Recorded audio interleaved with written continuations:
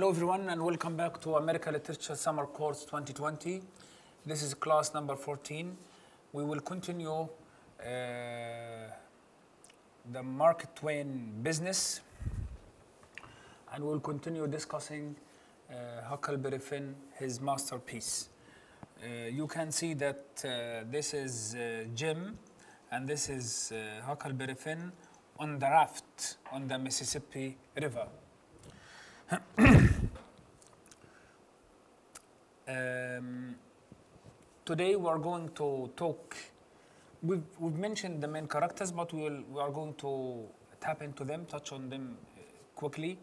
But we will cover chapter 1, chapter 2, chapter 3, chapter 4 today. The first chapter is about civilizing Huck, the second one, the boys escape, Jim, and then a good going over and the slow but sure. Civilizing Huck. now, one main theme in Mark Twain's Huckleberry Finn is that he wants to explore this cognitive dissonance of the American public culture.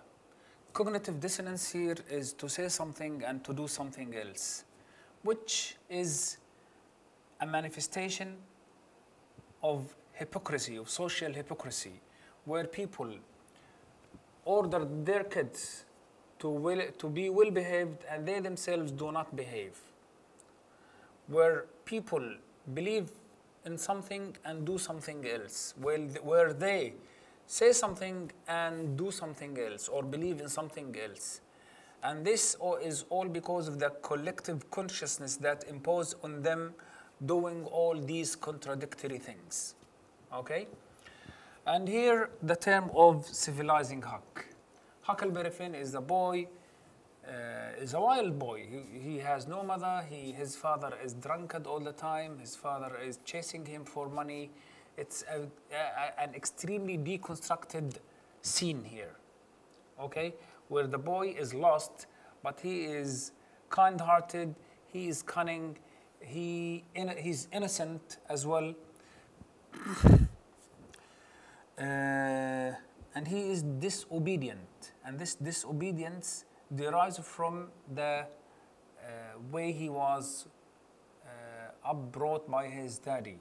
Okay, we'll come to this later. Listen here, the adventures of Huckleberry Finn continues the story of Tom Sawyer. And Huckleberry Finn where the adventures of Tom Sawyer leaves off. Huckleberry Finn starts where Tom Sawyer closes.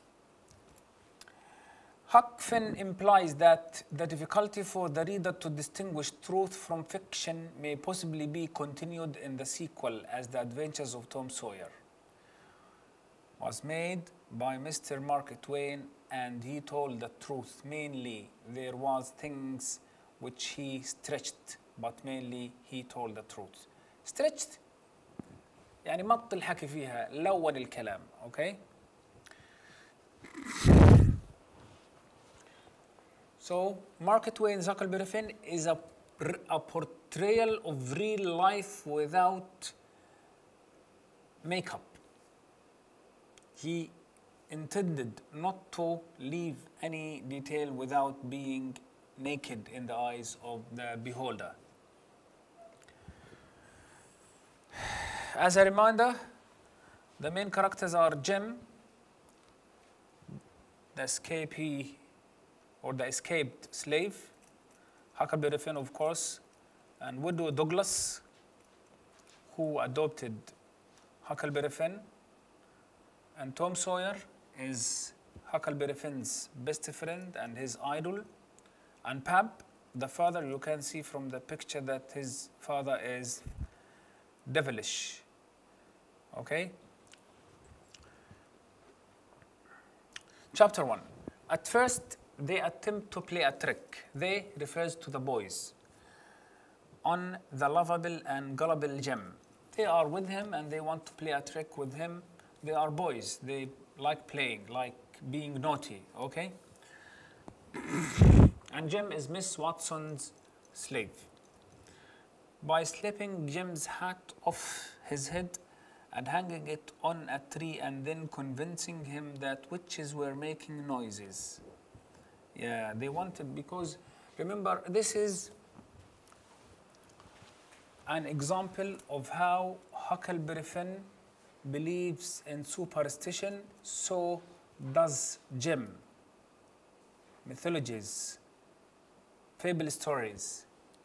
Yeah. Um, in chapter 2, Jim said the witches bewitched him and put him in a trance. In a trance, they made him sleep. He like sleep-like person, okay? And rode him all over the state. Yeah, it's like a dream.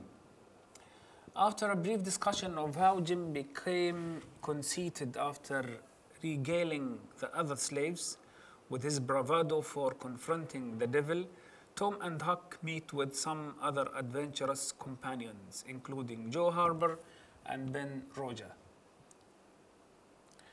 Now, the boys make a pledge to form a band. Yeah, the idea of being a gang who do whatever they please, they snatch things from here, snatch things from here, there, um, throw stones on other houses, do all sorts of naughty things that kids do or boys do. Okay?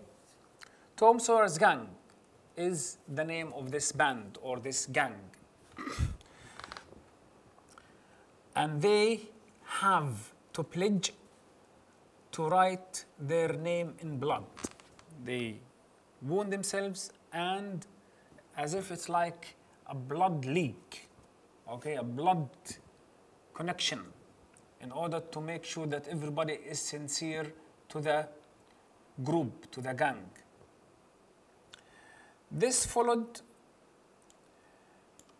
this is followed by a long list of restrictions and prescriptions and is thus a miming of the very same civilizing code of behavior against which Huck and Tom are determined to evade.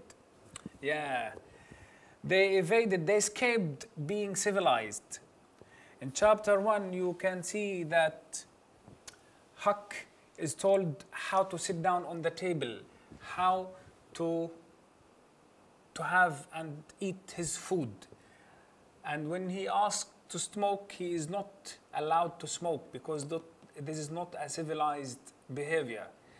Now, these are rules for you to be part of the society, of the so-called civilized society at the moment.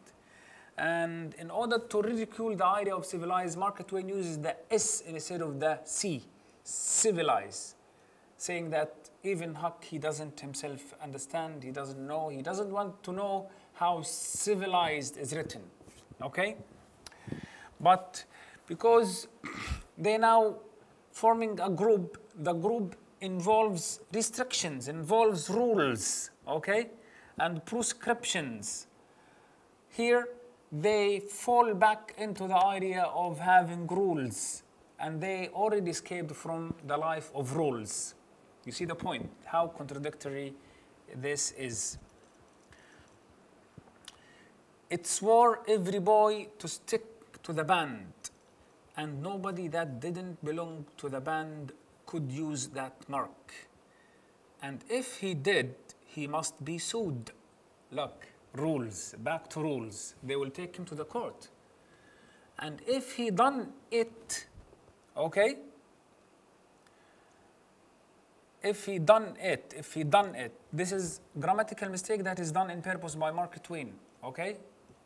Because he wants to mimic the society through the language of the boys. Again, he must be killed.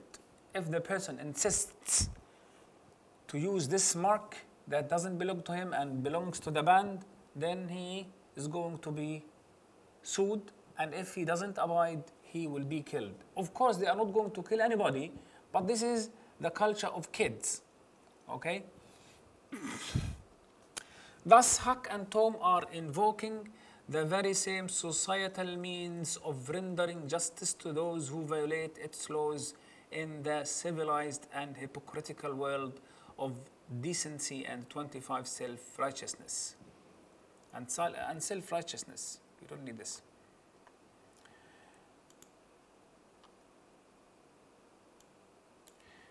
It is one of the numerous frightening scenes replete with danger, violence, and criminal behavior, which is at the same time mitigated by the fact that it is merely an expression of childish fantasy and Twain's humor and social satire.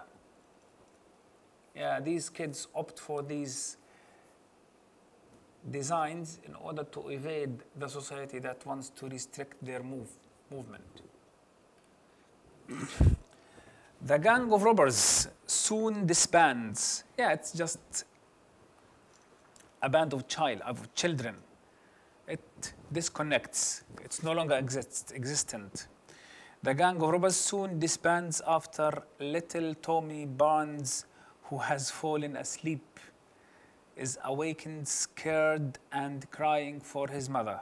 Yeah, he's part of the band, but again, he's weak, he's child, he's fragile, and he sleeps, and then he awoke or awakes, frightened and crying for his mother. When the gang makes fun of Tommy, he threatens to reveal their conspiracy and earns five cents hush money. Hush money is an American term meaning to give money to somebody in order to silence them. Hush money is a word that is frequent in the American media nowadays. From which, from Tom Sawyer, who said we would all go home and meet next week and rob somebody and kill some people. Of course, they won't. They are not going to come, they are not going to kill anybody, they are not going to rob. These are big words delivered by small kids.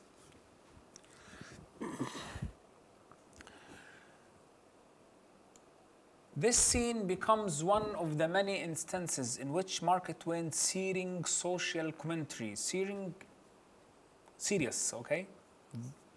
Social commentary is conveyed through the vehicle of his young protagonist, Tom and Huck, for despite their imaginative undertakings, the real world of social injustice and adult ficklessness. Ficklessness here, with un, un, uh, is worthless. Okay, is forever impinging on their happiness. Yeah. When you say that the ficklessness of the society and the injustice impinging on these kids' happiness, this means that you talk about uh, Huckleberry Finn's daddy who is chasing him up for the money, the $6,000 he earned before, uh, and Miss Douglas who wants to impose on him certain rules that uh, restricts his movement. The following morning, Huck receives a sermon from the widow Douglas. Yeah, she reproaches him because of his grimy clothes. She wants to he wants him to be well dressed. Now, these are words from chapter 2. Okay? It's good to have a look at them, and I'll leave the book with the thesaurus for you, but I want you to focus on these words. Chapter 3 Widow Douglas, the one who adopted Huckleberry Finn, okay, is a good hearted widow. And she is a widow of a judge, by the way, okay, Judge Douglas. So you can see three judges in the novel here Judge Douglas, who's dead, and whose widow is taking care of uh, Huckleberry Finn, and Judge Thatcher, who is the guardian of Huckleberry Finn's money, and the judge who takes care of the persecution of Pap Finn, the father of Huck, when he Uh, tries to take the money by court from Huck. Now, the widow has a good heart, and instead of scolding Tom, she encourages, she doesn't scorn him, she doesn't ridicule him, okay? She encourages him to pray but to little avail. She cannot succeed to convince him pray. Why? Why Widow Douglas fails? Why does she fail to convince Huck to pray? Has not seen any concrete proof of its effectiveness. This is a manifestation of how Mark Twain did not, in his time, believe in the religious institution uh, or the religious tradition. Okay? He doesn't pray because he doesn't believe that this prayer is answered. I says to myself, if a body can get anything they pray for, why don't Deacon Winn get back the money he lost on poke?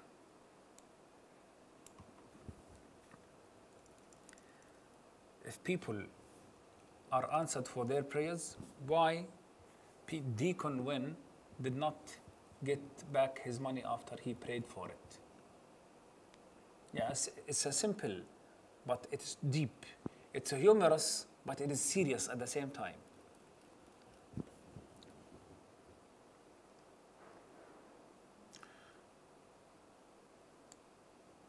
What is so poignant at this early stage in the narrative is that Huck has a low opinion of himself.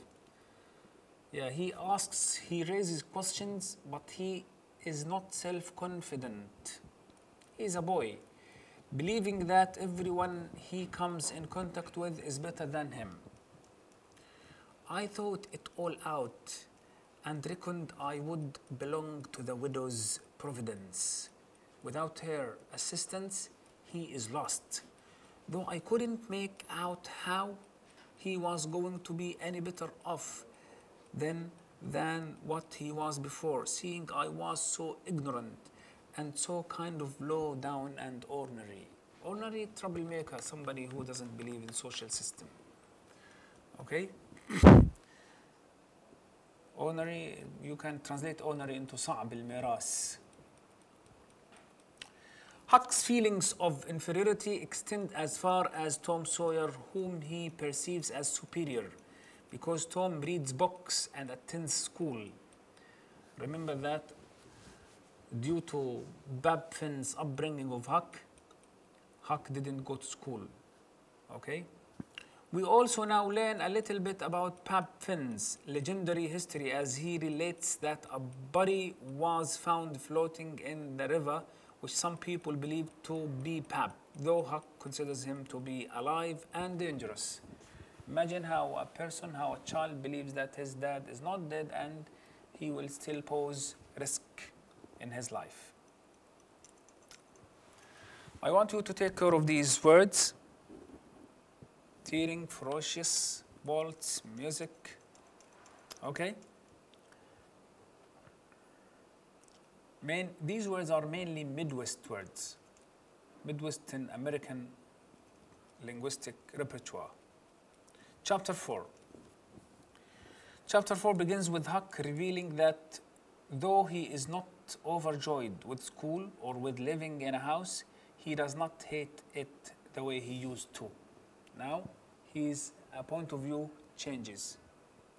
Huck is also equally as vulnerable to superstition as Jim. Vulnerable, he can believe in superstition, he can believe in, in, in, in the unseen, the witches, as seen by his behavior when he knocks over the salt shaker at the breakfast table. I would like you to go and see this on, on video, okay, in order to try and at least absorb what this means the idea of uh, salt, salt shaker. Okay? I reached for some of it as quick as I could, he says, to throw over my shoulder and keep off the bad luck. Mm. Unfortunately, lending credence to this myth is the coincident fact that Huck then goes outside only to find boot prints in the snow. These are his daddy, an unmistakable sign that his father has been around. It's like bad omen.